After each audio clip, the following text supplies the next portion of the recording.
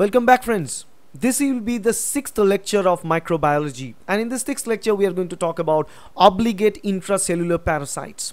There are many different types of organisms, microorganisms which are not bacteria but they can put severe harm and cause infection and diseases like rickettsia, chlamydia, mycoplasma. We are going to talk about this kind of intracellular parasites in this particular lecture. So stay tuned and watch this lecture. The unusual characteristics of prokaryotes are listed in this slide.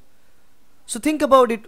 Few are free living non-pathogenic bacteria who don't harm us. We are safe from them. They live their own life, we live our own life. But there are photosynthetic bacteria. They use photosynthesis, can synthesize required nutrients from inorganic compounds. So there are this then then separated you know free living non-pathogenic means free living bacteria means they can make their own energy source. They can they can use it. They produce their energy they use it. On the other hand there are pathogenic ones. The pathogenic ones can be you know either it's photosynthetic means they have chlorophylls inside them. They can produce energy. Or there are those who take up energy from inorganic compounds but they can make us sick. They are harmful to us. An example for photosynthetic cyanobacteria. We call them blue-green algae as well. They are generally aquatic and they can harvest sun energy. Okay. Then green sulfur, green purple sulfur bacteria. Then gliding and fruiting bacteria. And then finally carry out more photosynthesis than all plants combined. So think about it.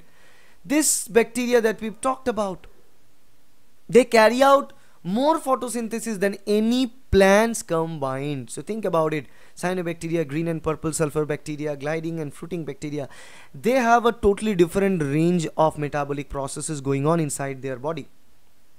Inside their cell actually, because their body means cell. Because they have unique electron transport chains which is involved in the energy production, harvesting sun's energy photon energy to produce the chemical energy, utilizing that chemical energy to grow, to metabolize, to live. Okay. And some more example if you if you put what is the medical significance of this unusual forms of bacteria. One example for this unusual bacteria is rickettsias. They are obligate intracellular parasite, just like the viruses, you know obligate intracellular parasites generally whenever you say obligate intracellular intracellular parasites, we always say virus. But there are some bacteria, rickettsia, very tiny gram negative bacteria. Most of them are pathogens, in fact all of them. They're obligate intracellular pathogens, cannot survive or multiply outside of a host. So it, it behaves like a virus. Cannot survive or multiply outside of a host. They need a healthy host to multiply and survive. And they are pathogenic. Causes huge array of diseases. One such example, Rickettsia rickettsii causes Rocky Mountain spotted fever. Rickettsia prowazekii is there. There are different species of Rickettsia. You can read that because uh, sometimes they ask questions uh, from this part in GATE, NET, IIT JAM, all this place. So you can read the species of Rickettsia and associated diseases. You can easily find it in Google Images, the, the table. Another one is Chlamydia. Chlamydia is tiny obligate intracellular parasite again not transmitted by any arthropods. And if we took two different examples of chlamydia and what they cause chlamydia trachomatis severe eye infection and one of the most common sexually transmitted diseases. So they are transmitted by sexual transmission STDs not by any vectors like arthropods no. Rickettsia on the other hand can be transported by the vectors but not the uh, not uh, chlamydia Trachomatis cause severe eye infection. It can be congenital. Chlamydial pneumonia causes lung infection, pneumonia. Pneumonia can be caused by other bacteria as well, the common bacteria causing pneumonia. But chlamydia can also cause pneumonia and lung infection and that complications even more. Okay. So think about this unusual form of bacteria I've listed two, rickettsia and chlamydia, and we have already talked about the mycoplasma earlier. So when you think about this competitive exams for PhD and for MTechs, and for entering into IIT exams you should prepare these portions because there's nothing much to be explained the unusual bacteria we talk about mycoplasma talk about chlamydia talk about rickettsia you get a table which explains all the variety of chlamydia mycoplasma rickettsia their associated diseases. And what diseases they actually cause it's very very important to know.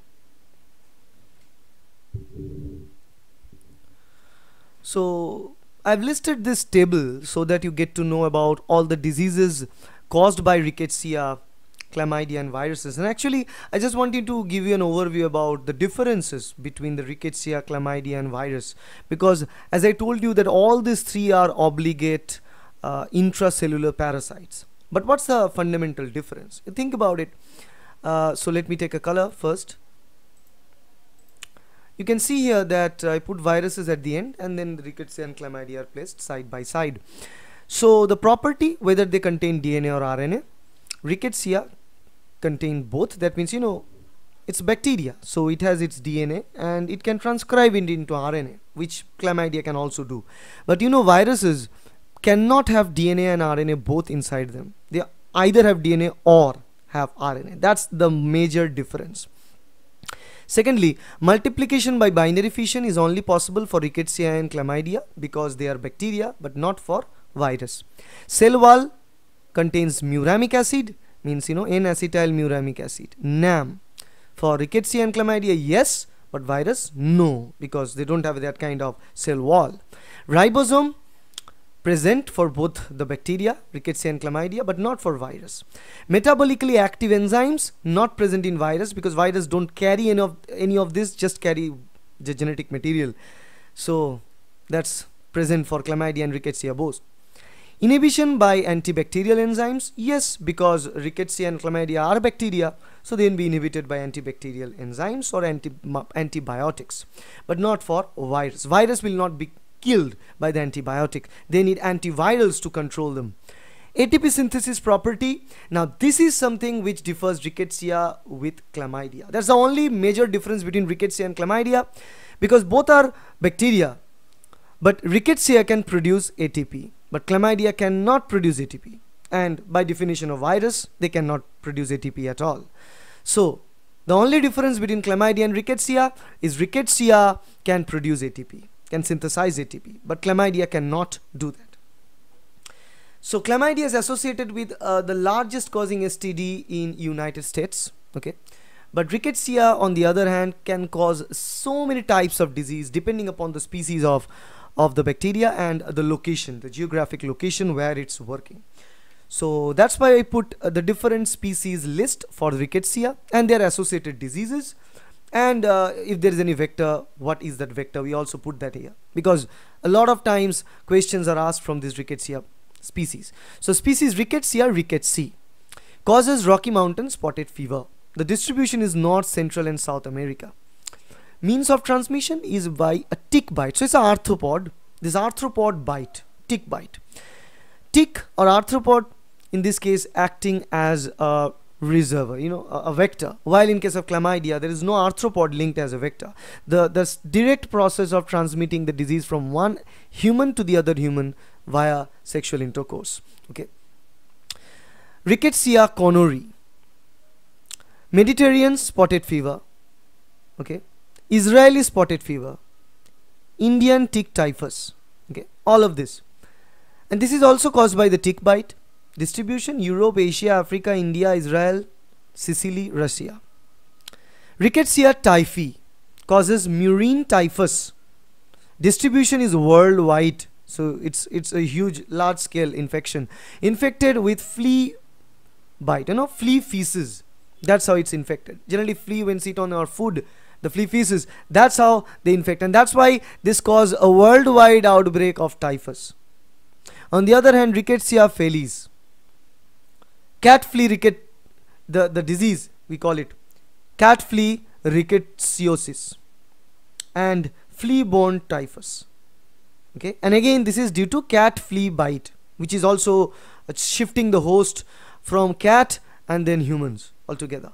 Also the outbreak is worldwide so you can see this rickettsia is not very small. There are many species variations and based on the variated species they can cause different diseases even throughout the portions of the world. So it's really something to worry about and as it has a little different features from the bacteria so it's very difficult to treat. Although antibiotics are enough to kill rickettsia okay?